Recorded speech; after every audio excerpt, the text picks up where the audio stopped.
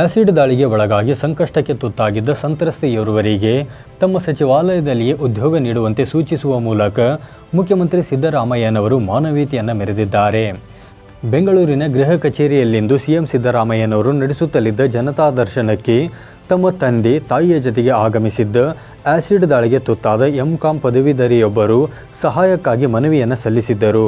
ಈ ವೇಳೆ ಅಹವಾಲು ಸ್ವೀಕರಿಸಿದ ಮುಖ್ಯಮಂತ್ರಿಗಳು ಸಂತ್ರಸ್ತೆಗೆ ಸ್ಥಳದಲ್ಲಿ ಉದ್ಯೋಗದ ಭರವಸೆ ನೀಡುವ ಮೂಲಕ ಸಂತ್ರಸ್ತೆಯ ಬಾಳಲ್ಲಿ ಬೆಳಕು ಮೂಡಿಸಿದಂತಾಗಿದ್ದು, ಇದು ಸಾರ್ವಜನಿಕ ವಲಯದಲ್ಲಿ ಭಾರೀ ಮೆಚ್ಚುಗೆಗೆ ಪಾತ್ರವಾಗಿದೆ.